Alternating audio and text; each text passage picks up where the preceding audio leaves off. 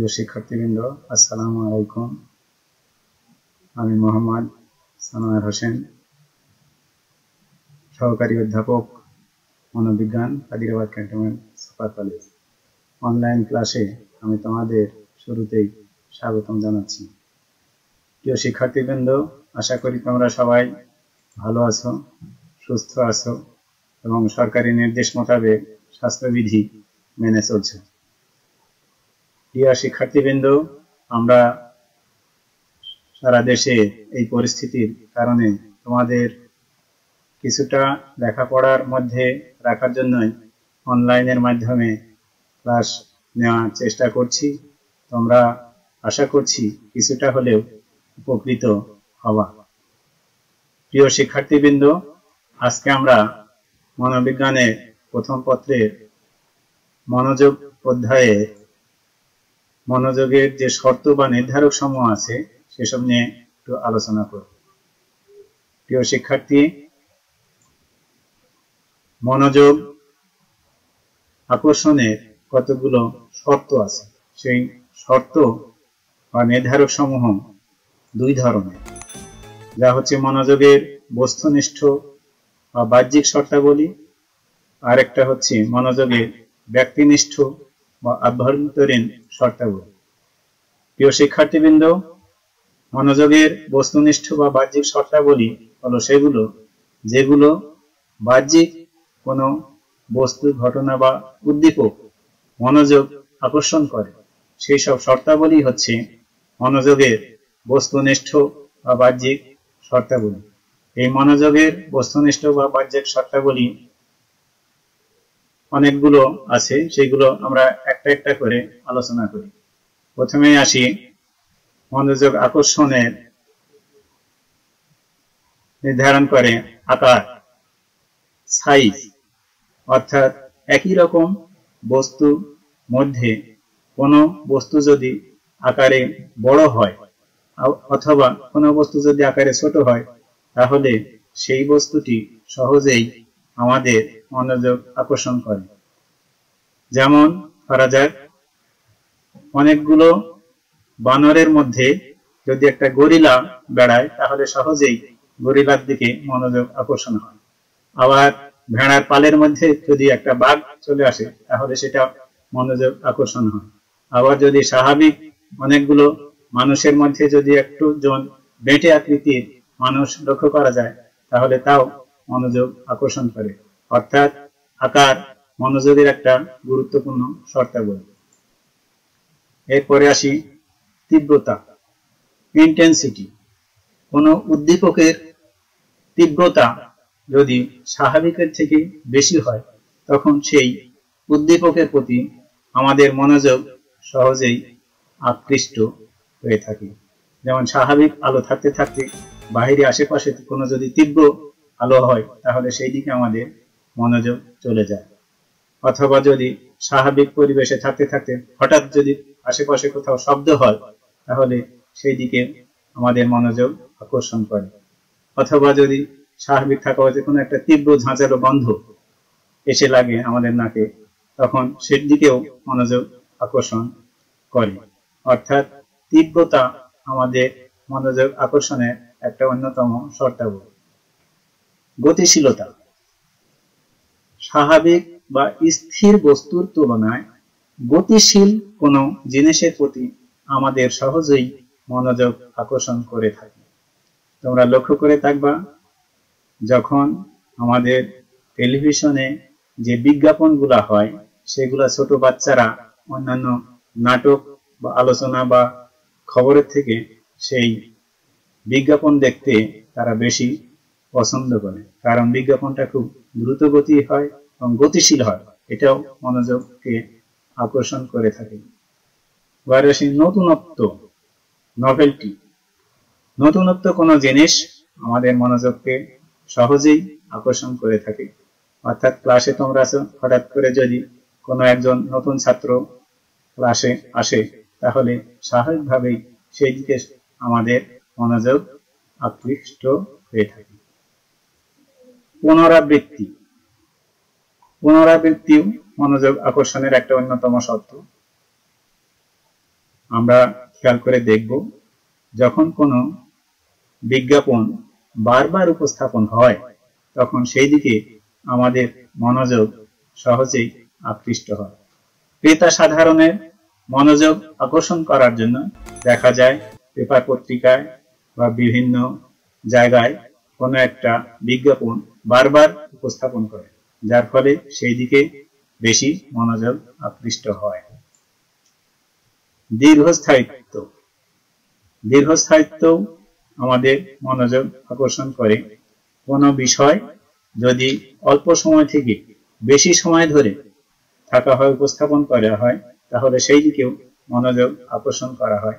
সাধারণত আমরা পরিবারে দেখে থাকবা যে কোনো শিশু যখন একটু কেঁদেই থেমে যায়, তখন সেই দিকে খুব একটা মনোযোগ হয় না। কিন্তু শিশুটি যদি দীর্ঘক্ষণ ধরে কাঁদতে থাকে, তাহলে সবার মনোযোগ চলে যায় ওদিকে।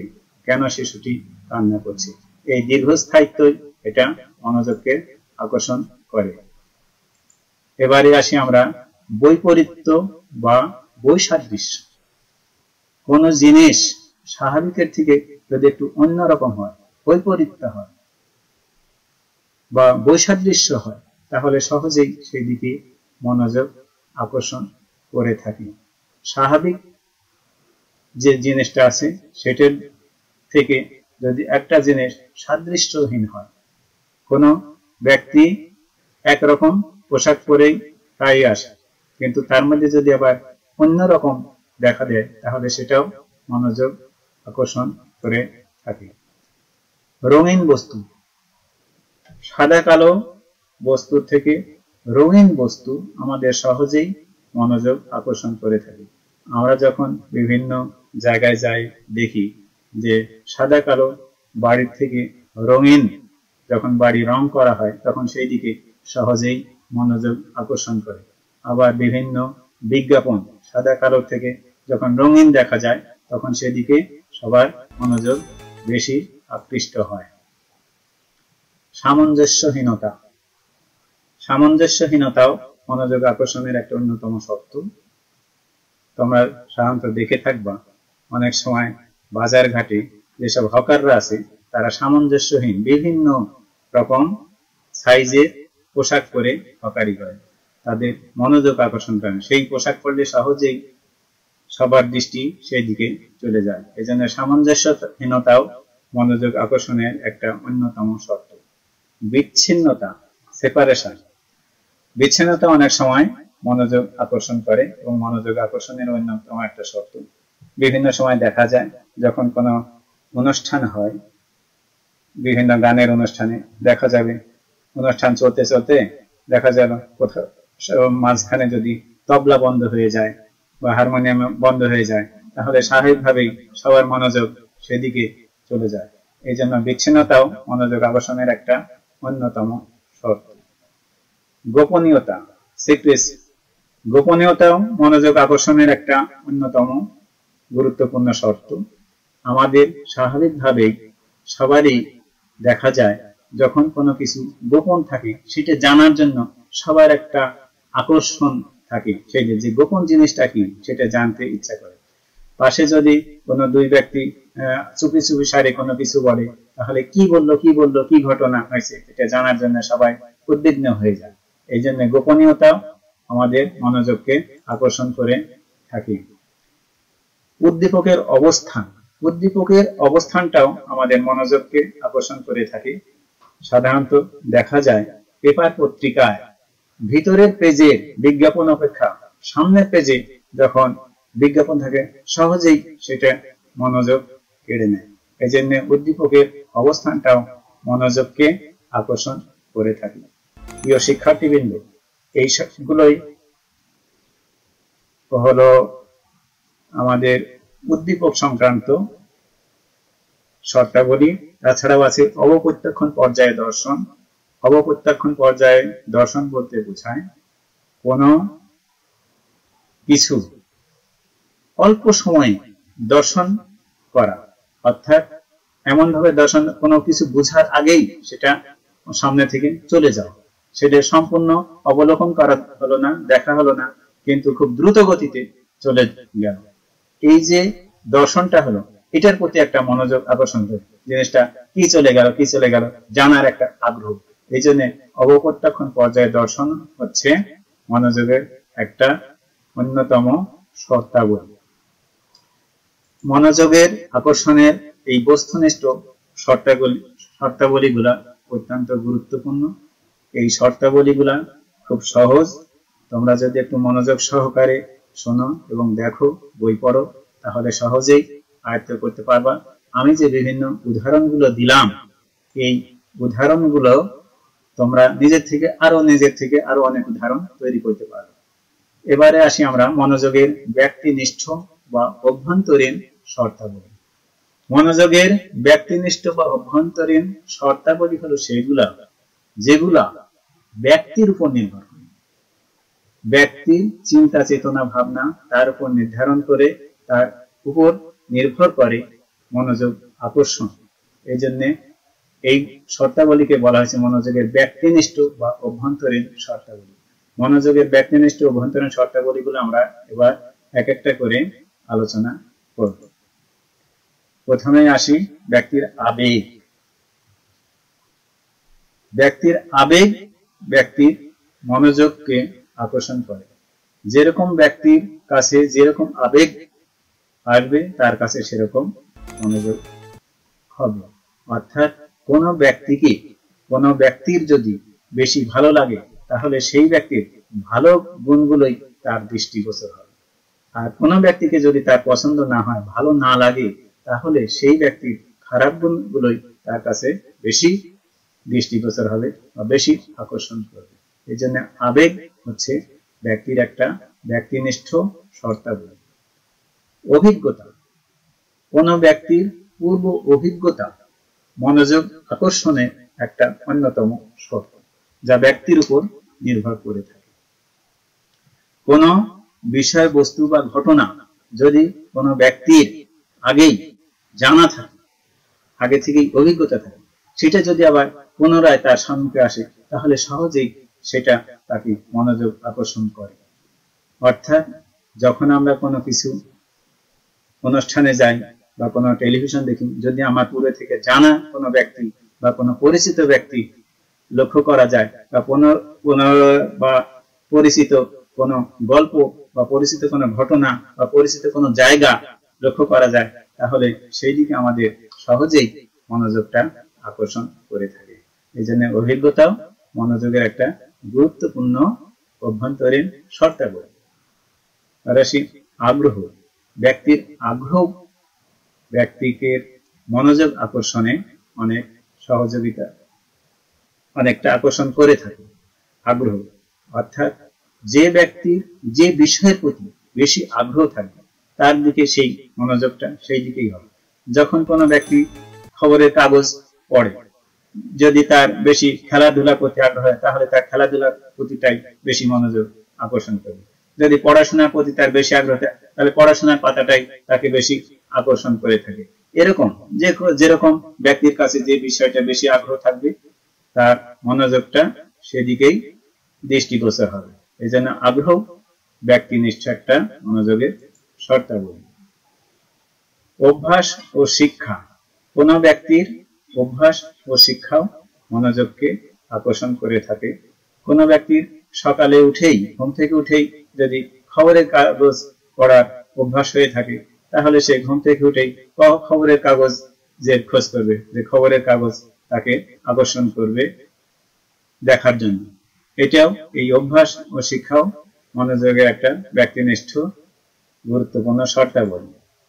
এবার আসি মেজাজ ও মনোভাব। ব্যক্তির মেজাজ ও মনোভাবটাও মনোযোগকে আকর্ষণ করে থাকে। কোনো ব্যক্তির যদি মেজাজ হয়ে থাকে, তাহলে দেখা যাবে সামান্য কোনো বিষয়ে তার মধ্যে মেজাজ লক্ষ্য করা যাচ্ছে। তার সেই জিনিসটার প্রতি একটা মেজাজ লক্ষ্য করা যাচ্ছে এবং তার মনোভাব যদি কোনো বিষয়বস্তুর উপর ভালো হয়, তাহলে সামান্য বিষয়ের প্রতিও দেখা যাবে, তার একটা ভালো মনোভাব আসছে। মেজাজ ও মনোভাবও ব্যক্তির একটা গুরুত্বপূর্ণ অভ্যন্তরীণ শর্তাবলী। ব্যক্তির স্বাস্থ্য। স্বাস্থ্যটাও তার মনোযোগ আকর্ষণের অন্যতম শর্ত। দেখা যাচ্ছে কোনো ব্যক্তির কোনো অসুস্থতায় ভুগছে, তখন সেই ব্যক্তি যখন পেপার পত্রিকা দেখে বা কোথাও বিজ্ঞাপন থেকে, সেই স্বাস্থ্যের সম্পর্কে যদি লেখা থাকে, তার চিকিৎসা সম্পর্কে লেখা থাকে, তাহলে সহজেই সেই দিকে তার মনোযোগ আকর্ষণ হয়ে থাকে। এই জন্য স্বাস্থ্য, মনোযোগ আকর্ষণের একটা গুরুত্বপূর্ণ শর্তাবলী।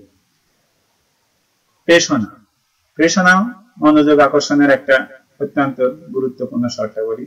যেরকম ব্যক্তির যেরকম পেশনা উদ্রেক হবে, তার মনোযোগটা সেই দিকেই হবে। যেমন কোন একজন ক্ষুধার্ত ব্যক্তির তাকে আকর্ষণ করবে, খাদ্য খাদ্য যেখানে আছে সে সেই দিকে ধাবিত হবে। তৃষ্ণার্ত ব্যক্তির যেদিকে সে পানীয় খাবার পাবে, সেই দিকে তার ধাবিত হবে। শারীরিক বৃত্তীয় এসব পেশনা ছাড়াও যে সামাজিক পেশনা আছে, কোন ব্যক্তির মধ্যে রাজনৈতিক পেশনা যদি জাগ্রত বেশি হয়, তাহলে রাজনীতির তথ্যাবলী তার কাছে বেশি আকর্ষণ করবে। কোন ব্যক্তির যদি খ্যাতি অর্জনের বিষয় থাকে, তাহলে সেরকম যে বিজ্ঞপ্তি, যে ঘটনা থাকবে, তাহলে তার সেই দিকে মনোযোগ আকর্ষণ করবে। এই জন্য প্রেষণা মনোযোগ আকর্ষণে একটা আভ্যন্তরীণ গুরুত্বপূর্ণ বৈশিষ্ট্য বা শর্ত। প্রস্তুতি ও প্রত্যাশা। কোন ব্যক্তির যেরকম প্রস্তুতি ও প্রত্যাশা থাকে সেই রকম যদি কোনো বিষয় তার সম্মুখে উপস্থিত হয়, তাহলে সেটা সহজেই তার মনোযোগ আকর্ষণ করে থাকি। কোনো ব্যক্তি যেরকম প্রস্তুতি নিচ্ছি বা যেরকম সে প্রত্যাশা করছি, কোনো ব্যক্তি তার হাতে বাসায় আসবে পরিচিত কোনো বন্ধু বা এমন কেউ আসার কথা আছে যা কোনোদিন আসেনি। এরকম অন্য কোনো ব্যক্তি আসলে সে মনে করবে যে তার মনে হয় ওই ব্যক্তিটাই আসছে। এই জন্য প্রস্তুতি ও প্রত্যাশাও মনোযোগকে আকর্ষণ করে থাকে। ক্লান্তি ও অবসাদ, ক্লান্তি ও অবসাদ মনোযোগের একটা গুরুত্বপূর্ণ বিষয়। কোনো ব্যক্তি যখন ক্লান্ত বোধ করে এবং অবসাদ মনে করে, তখন তার কাছে অত্যাধিক গুরুত্বপূর্ণ, আকর্ষণীয় ঘটনা, বিষয়, গল্প গুজব তার কাছে সেসব বিষাদে পরিণত হয়, তার কাছে ভালো লাগে এই জন্য ক্লান্তি ও অবসাদও মনোযোগের একটা অন্যতম শর্তাবলী মূল্যবোধ। মূল্যবোধটাও একটা গুরুত্বপূর্ণ মনোযোগের অভ্যন্তরীণ শর্তাবলী। যে ব্যক্তির কাছে যে বিষয় বা ঘটনাটা বেশি মূল্যবোধ মনে হয়, তার কাছে সেটাই বেশি আকর্ষণ করে। যেসব কিছু কিছু রিজার্ভ ফ্যামিলি আছে, যারা বোরকা পরিহিত মহিলাদেরকে বেশি পছন্দ করে, তার কাছে যদি কোনো বোরকা পরিহিত মহিলা আসে বা দেখে, তাহলে সেই দিকে তার বেশি মূল্যবোধ হবে। আর যারা বোরকা পরিহিত মনে করে না, তাদের কাছে সেটা সেরকম গুরুত্বপূর্ণ মনে হবে না। এই জন্য যে ব্যক্তির কাছে যেটার বেশি মূল্যবোধ হবে, শিক্ষার্থীদের কাছে শিক্ষা বিষয়ক যেমন মূল্যবোধ আছে, শিক্ষা বিষয়ে যখন কোনো আলোচনা আসবে, কোনো কথা আসবে কোনো পেপার পত্রিকায় পাবে তাদের, তখন তার কাছে মূল্যবোধ হবে। কোনো চাকরির বিজ্ঞাপন, চাকরির তার কাছে মূল্যবোধ প্রয়োজন। সেরকম যদি বিজ্ঞপ্তি আসে, তার কাছে সেটা বেশি আকর্ষণ হবে। প্রিয় শিক্ষার্থীবৃন্দ, আমরা এতক্ষণ যে মনোবিজ্ঞানের মনোযোগ অধ্যায়ে দ্বিতীয়, অনলাইনের দ্বিতীয় ক্লাসে যে মনোযোগের শর্ত সমূহ বস্তুনিষ্ঠ ও ব্যক্তিনিষ্ঠ শর্ত সমূহ আলোচনা করলাম, এই শর্ত সমূহগুলা অত্যাধিক গুরুত্বপূর্ণ এবং সহজ। এইগুলা যদি তোমরা একটু মনোযোগ সহকারে পড়াশোনা করো, তাহলে দেখবা খুব সহজ হবে এবং যে কোনো বিষয়ে তোমরা গভীর মনোযোগ সহকারে যদি সেটাকে নাও, সেটাকে দেখো বা শোনো বা পড়ো, তাহলে তোমার স্মরণ শক্তি স্মৃতিশক্তি বৃদ্ধি পাবে এবং দীর্ঘদিন মনে থাকবে। এই জন্য যে কোনো বিষয় জানতে হলে, শিখতে হলে তার মধ্যে যেরকম আগ্রহ থাকতে হবে, সেরকম গভীর মনোযোগ সহকারে পড়তে হবে। প্রিয় শিক্ষার্থীবৃন্দ, আমাদের যেহেতু সৃজনশীল প্রশ্ন হবে, এমন একটা উদ্দীপক থাকবে, সেই উদ্দীপকে কিছু ক্লু থাকবে, সেখান থেকে তোমাকে ধরে নিয়ে আসতে হবে যে কোন ধরনের শর্তাবলী এখানে কাজ করছে। যেমন ধরো, দুই ভাই বোন তার নানা বাড়িতে ট্রেন যোগে বেড়াতে যাচ্ছে। যেতে যেতে সে দেখছে যে এক স্টেশনের পাশে একটা হাতি নিয়ে দোকানে দোকানে যাচ্ছে। তখন ভাই তার বোনকে বলছে, এই দেখ দেখ দেখ হাতি। তার অন্য কোনো উদ্দীপক বাদ দিয়ে সেখানে তার মনোযোগ চলে গেল। আবার যেতে যেতে দেখছে আরেকটা স্টেশনে কিছু রঙিন অনেকগুলা দোকান সাজানো আছে আলোক সজ্জা সজ্জিত করা আছে। তখন তাকে সেটা খুব ভালো লাগছে। তখন বোন তার ভাইকে বলছে, দেখো দেখো ভাইয়া, দোকানটা কত সুন্দর ভাবে রঙিন ভাবে সাজানো আছে। আবার যেতে যেতে তার কামরার মধ্যে দেখছে হকার, একবার বিভিন্ন রকম ডিজাইন করা পট্টি দেওয়া দেওয়া, বিভিন্ন রঙের পোশাক পরে সে হকারি করছে। তখন অন্যান্য ব্যক্তিত্বের বাদ দিয়ে তাদের কাছে মনোযোগটা চলে যাচ্ছে। আবার দেখা যাচ্ছে, পত্রিকা আসলো। পত্রিকায় তারা যেহেতু দুই ভাই বোনই লেখাপড়া করে, দেখা এক বোন আর বলছে, দেখো ভাইয়া, আমার আজকে এই বিষয়ের এই যে এই প্রশ্নগুলো নিয়ে দেখো পেপারে আসছে। তার দৃষ্টিটা ওদিকে। ভাই দেখছে যে তার খেলাধুলার বিষয়গুলো দেখছে ক্রিকেটে কে কত বেশি রান করেছে, কে কত বেশি, এইগুলো মনে করছে। এরকম একটা উদ্দীপক থেকে যখন প্রশ্ন করা হবে যে উদ্দীপকের আলোকে বলো, তোমার কাছে মনোযোগের বস্তুনিষ্ঠ কোন কোন শর্তাবলী এর মধ্যে অন্তর্নিয়েছে সেইগুলো ব্যাখ্যা করো। আবার প্রশ্ন হবে এর মধ্যে ব্যক্তিনিষ্ঠ কোন কোন শর্ত বা উপাদান তোমার কাছে পরিলক্ষিত হয়েছে, সেগুলো আলোচনা করো। অথবা বস্তুনিষ্ঠ ও ব্যক্তিনিষ্ঠ যে শর্তা বলেছে তাদের মধ্যে সাদৃশ্য, বৈসাদৃশ্য সমূহ আলোচনা করো বা দুই ধরনের শর্তাবলীগুলা তোমার কাছে কি একই রকম মনে হচ্ছে? না, তাদের মধ্যে কোনোটা ভিন্নতা পরিলক্ষিত করা হয়েছে? সেগুলা দেখো। এরকম সৃজনশীল প্রশ্ন হবে। বিভিন্ন উদ্দীপকের আলোকে তোমার মধ্যে যদি এইসব শর্তগুলা সুন্দরভাবে পড়াশোনা করো, তাহলে সহজেই কোন বৈশিষ্ট্য বা শর্তটা আসছে তা তুমি সহজেই বুঝতে পারবে। প্রিয় শিক্ষার্থী বন্ধু, আজকে আমরা অনলাইন ক্লাসে এখানে সমাপ্তি করছি। তোমরা সবাই সুস্থ থাকো, ভালো থাকো, পড়াশোনায় মনোনিবেশ করো। এই বলে তোমাদেরকে আমি ধন্যবাদ জানিয়ে আজকের মতো এখানে শেষ করছি। সবাইকে ধন্যবাদ।